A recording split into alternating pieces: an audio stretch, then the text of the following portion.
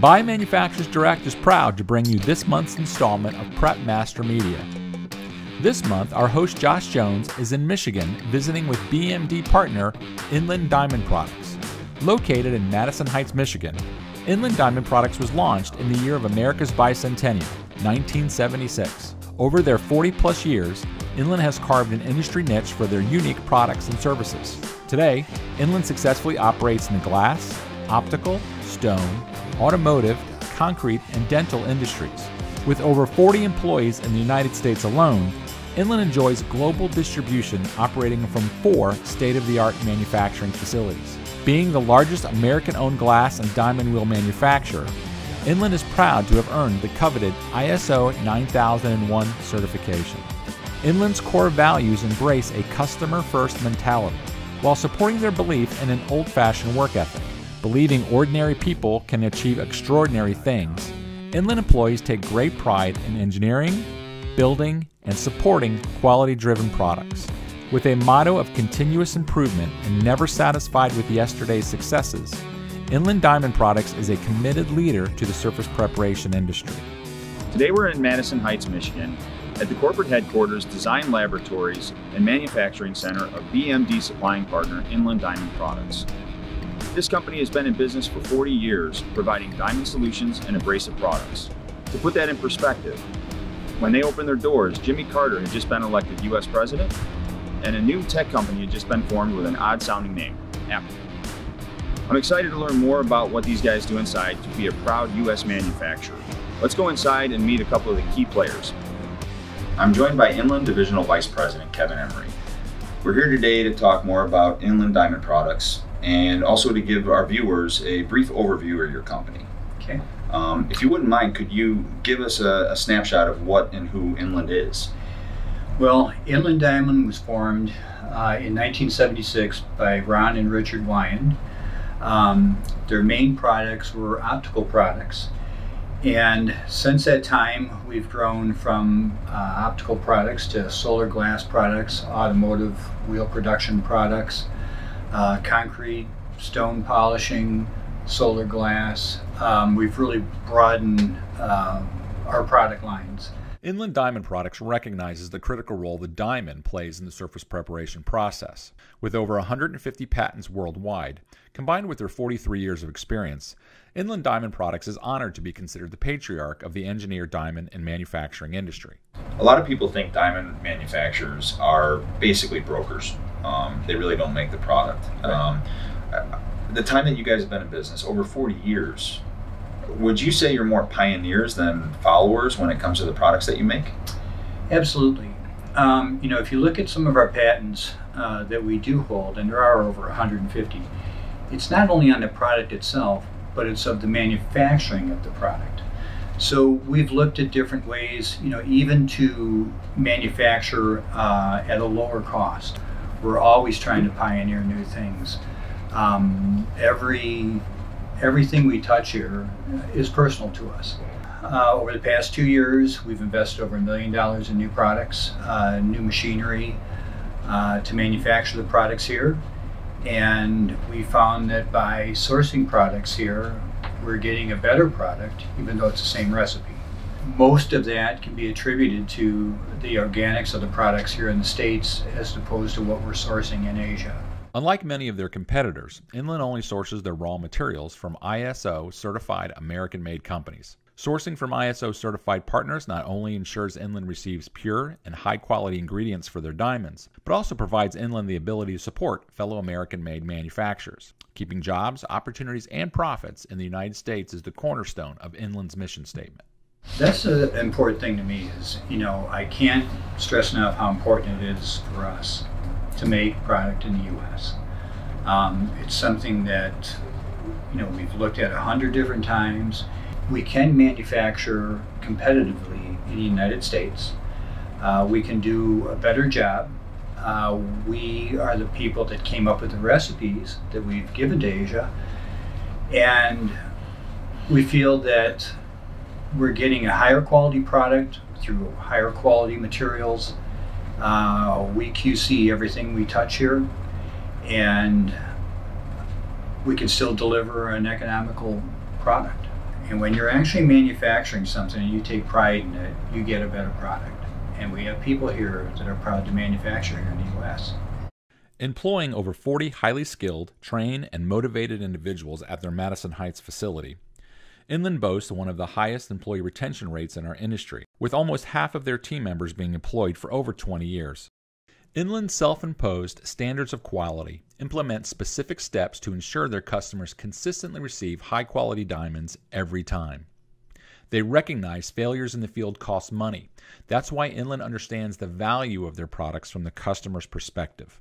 Adopting a never fail mentality, the Inland team takes personal pride in the quality of their products, as well as the service and support provided to their customers. Every product that comes through our plant is documented. Every product has a work order. So we can have traceability for everything that we manufacture. And in the event there is an issue, we can go back and find where that issue might be, whether it be a, a supply issue, uh, a diamond issue, or a manufacturer issue. It'll all be there in the work order for us. Most of the stuff is caught in quality control. It goes to our QC department once we receive it, uh, prior to going into the mix room, prior to going into the plant. Uh, it's QC to make sure that it meets our standard. Once the product is manufactured, it goes back through QC. So it's actually handled twice. Um, and we found that that prevents a lot of our issues, but we do stand behind all of our products 100%. Well, and I think also we had talked earlier about it, how fast you guys can provide a, a solution to a customer request. That's true. Um, it used to be our reaction time if we had to redevelop a bond would be six to eight weeks. What's nice about having all the tools here now is that we can overnight create a new product. If we decide we need to change the mesh of a product, it's something that can be done in hours rather than weeks. Um, we can have an idea this afternoon and we could put that product on the floor tomorrow. One of Inland's competitive advantages is their ability to react to industry needs by leading new technology and industry advancements. As you can see, while inventory turns quickly, Inland keeps plenty of fresh inventory on hand, ready to ship. If you're like most people, we sometimes wait until the last minute to order our diamonds. For these guys, that's not a problem. Most diamonds are in stock and ready to ship. You know, we added 7,000 square feet uh, onto our facility just to handle inventory. Um, so I think we're in a pretty good position to fulfill our customers' needs. Well, I think I think what I take away from this, uh, from spending time listening to you talk about the company that you work for, it seems like I think you speak for your people as well. That there's a lot of pride that goes into the products that you make. Absolutely. Um, your vision of the American made, the history, um, knowing the products from the time they're literally from the time they're born, before they're born, and you turn out a product that you feel comfortable standing behind, and everybody else here feels the same way. Absolutely. Uh, we, you know, we love what we do, and I'm, I got the greatest supporting cast down there I could ask for. Well, I appreciate very much the time. I've definitely learned a lot listening to you talk about the company. Um, I also, uh, again, I can't help but sense the amount of pride that you take in your work. So thank you very much for your thank time. Thank you. Appreciate it. You're welcome. To Inland, customer service isn't an obligation, but rather a responsibility. A responsibility to support those customers trusting in their products. Now I'm joined with Kevin Emery Jr., who is the industrial sales representative for Inland Diamond Products. Kevin, we really appreciate the time you've taken to sit down with us, tell us more about your role in the company. Um, your dad was talking about the customer service aspect that everybody here takes so seriously, Absolutely. the pride that you guys take in your work. Can you run us through uh, one of your days or the way that you um, interact with the industry to make sure that it's, let's say, getting all that it's requesting? Generally, um, I'll get phone calls, text, emails from distributors like yourself. If you have any issues, any any inquiries, I'll take those calls just with some basic information, either pictures or uh, uh, just some general idea of how the tool is being used when the failure happened. Uh, we can generally get a pretty good idea when what uh, caused the failure. I'd like to know what machine's running, you know, what RPM, the weight. Uh, there's a bunch of different variables that I can go through to ask to find out uh, what if it's running wet or dry. Is another another point. You feel, it sounds like, fairly confident that you could also assess if the machine is correct for the tool they're running. I can, looking at the diamond, looking at uh, the wear patterns, looking at how the tool looks, uh, I can generally get an idea of what's wrong with the way the machine is running. Yes. Okay. Appreciating that the surface preparation industry hosts dozens of grinder manufacturers, all with their unique mechanics, weights, and mounting specifications, Inland has custom designed and manufactured diamonds for all the most popular grinders. Their diamond expertise transcends grinder brand and concentrates on how the diamond itself interacts with the surface. So if you're not getting the most out of your grinder, it might be time to consider a different diamond. And so when it comes to your ability to communicate with a customer or at least understand some of the stuff that's not stated, beside being um, the manufacturer of the product, Yep. you can also speak a little bit of the contractor's language so that they're actually using the correct tool for the application. Right. Using it correctly, using it on the right machine. Absolutely. And so, where does your experience in that uh, in the industry come from? I mean, what was your background before this life? Before this, I was actually in a van uh, driving fabricator to fabricator selling tools for uh, countertop fabrication. Okay, So for six years I was on the road okay, and uh, came over here to help out. They did some assistance here and I've been here for almost eight years now. eight years. Yep. Okay. So Well, I can't thank you enough for the time you've taken. Tell us more about your responsibility in the company. I can tell again, you know, the in the family environment that you guys have created, um, from your father to you. Um, you guys obviously take a lot of pride in your work, so I really can't thank you enough for the time you've given for us. coming out. Thank you. pleasure working with you. Yep, same here.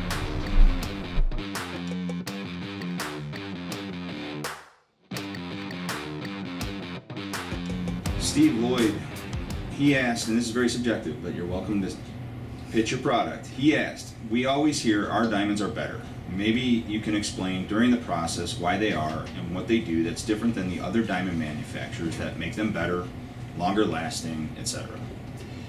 Well, um, making a diamond better is like making a cookie better. They're all based on your specific recipe, whether you're using grandma's recipe or the recipe off the box. As far as life goes, uh, a lot of that involves diamond quality. Um, it's a matter of how the diamond fractures, uh, the strength of the diamond, uh, the impact resistance. So there's a lot of variables in making uh, a specific tool uh, to say that it's better. Um, it can be better polishing, but it may not have the life. Uh, typically, when you're trying to get a high polish, you're using a consumable tool. If you're saying it's better because it lasts longer, um, most of that would be diamond related, not, not bond specific. So it is a subjective, subjective question, you know, what makes a tool better than another. But uh, after 40 years and the experience we have here, I, I think our recipes are pretty good. Okay. Antonio Avalas, what is the best segment and grit for the polishing of a marble which has been placed on a pavement and is the first time it will be polished? So basically a first cut tool. Uh, a first cut tool, depending on what marble it is, uh, I would say probably go into with a with an 8100. Um, you know, marble's really just a dried up riverbed. You know, it, it's basically mud. Um, I would say 8100 is where I would start. Okay. Uh, Chris Toffoli, he asked, uh, or he said, I am interested in this and have always wondered about real or engineered diamonds. What type of metals and different bonds, how segment shape plays a role, consist consistency in the segs, manufacturing costs, values in grit mixtures. Cool.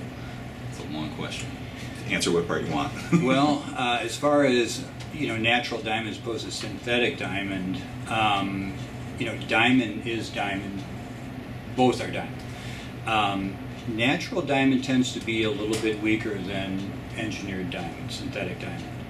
Are you saying that the quality of the diamond that makes up the individual segment is, is more important than the shape, the mechanical shape of the actual? No, shape does play an important part. It's just, it, it's it's kind of a preference. For a long time, people have used arrows, uh, anything with a with a single, trying to narrow that point to move through the surface, um, and they can get stuck on that. But you can also use a circle that still has that same cutting edge. It's allowing the swarf to move away from that piece and still get the same effect. Um, I'm, you know, we could probably run it through a, a CAD program and actually look at what each shape is actually doing to that substrate. But I still think most of it's personal preference. Bob Whitcraft had made a comment about the bond, Okay. and I think you, without giving away any trade secrets, um, I think you could maybe at least enlighten us a bit that it's not just the bond or it's just the diamonds. Can you kind of speak to that? Uh, well, you know, the bond is the most important factor in the segment.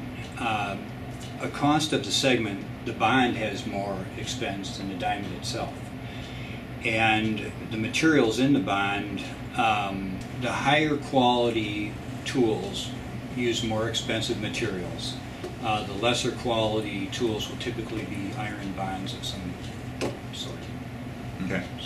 So the bond is important, but it's that's kind of a general statement. Well, we're looking for diamond retention. We're looking for uh, materials that like one another, uh, something that we can, uh, you know, allow to hold onto that diamond uh, that'll keep the retention as the bond wears wears away. As it develops that comet tail and it begins to erode, we need that diamond or the bond to be able to hold onto those larger crystals you know, even when you've got less than thirty percent of the bond still retaining that, you know, we try to really find materials that cling to that diamond. So so it's by design a properly made tool by design is going to let a certain amount of diamond protrude from the bond Yes, it has to. and by design let go or break free or Right. release that chip. Yeah, depending on if you're using a metal bond or a resin bond diamond, you know, you're going to have a hard diamond, you're going to have a softer diamond. A resin bond diamond, uh, you may not want the impact resistance of a metal diamond. You may want that to fracture uh, faster, uh, so you can develop new sharp cutting edges. Um, but you know, you've had tools, you know, metal bond tools that'll glaze over, and that's because either the diamond was too soft for the bond and it sheared off, so you have to run the tool and allow that bond to erode away to expose new diamonds. Is that what happens? Yes, that's typically what happens. So, you know, as long as you're you develop a bond that continues to cut, and you can pick up that tool and you can see the comet tails behind them, you know, feel the diamond protrusion on them, you've got a pretty good mix there. So when they glaze over, I mean, from your standpoint at least, knowing because you put them under a, a magnifying glass, whatever. Um, when we say they glaze over, it's because the diamond chips have actually fractured off flush or below the level of the bond. They've either fractured off to the level of the bond or below, or they've rounded over. Right. The diamond could be too hard, and when those sharp cutting edges are fractured off, now you're trying to cut with a golf ball. You know, there's nothing there to, to bite. There's no, nothing to grind. So is it incorrect? Because I often tell people that if a diamond glazes, um, for lack of a better term, to put down a secondary abrasive, silicon carbide, sand, glass, whatever, to sharpen the diamond tips. Is that not accurate? Are we actually eroding the bond? You're eroding the bond to expose new diamond. Gotcha. So that the old diamond can be rolled out and the new diamond can be exposed. But now, if they rolled, if they did have a rolled edge or they rounded over, then the same would be happening. We're still trying to fracture that chip, or is that kind Yeah, of when you're putting any type of, anything on the floor, especially a softer abrasive that'll erode that bond, mm-hmm. all you're doing is just eroding the bond so that round diamond can be rolled out and a new diamond can be exposed. Okay? So when they It's do like round over, dressing them. If you ever used a dressing stick, it'd be Mhm. the same thing. so if they do round over, is there any way to fix that? So once a diamond chip actually rounds over, It's, if it's truly rounded over, unless you can find a way to fracture it. okay? Is there any tricks in the field? Uh, I've heard hitting it with a hammer, but I don't know if that works. Well, that, that, I don't recommend that, but you could probably do, might work, I don't know. Okay. All right. Fair enough. Well, that's all. All right. This is a question from John Jackson, um, sort of related. Ask them to explain the difference between diamonds and sandpaper and the fracturing of the crystal, which I think you a little bit alluded to. Yeah, I mean, diamonds and diamond and sandpaper, it they're they're, they're similar but they're different. Um, you know, they most both may be, if you're talking about a resin bond diamond, they may both be made from a phenolic. Uh, typically, sandpaper is a coated product, so it, it's actually two uh, layers of resin. Uh, where a wood, instead of diamond, you know, wood sandpaper might use aluminum oxide to, to shave that wood. Uh, in metal, you'd be using a silicon carbide. You could use green silicon carbide, I imagine, in wood paper as well, but they're not using diamond. uh, to clear if that's his question. Uh, but they're similar except that uh, when you're using a diamond resin, you've got a multi-layer product. Uh, typically on sandpaper, you're almost single layer or are single layer, uh, almost like a vacuum braze tool would be, where you're, you've got a single layer of, of um, abrasive uh, mechanically bonded to a substrate to, to do your cutting, your grinding, that type of thing. So, you know, they are similar, but they're different. Okay. Well, thanks very much. Learned Thank a you. lot. Really appreciate the hospitality. You're welcome. Thank you.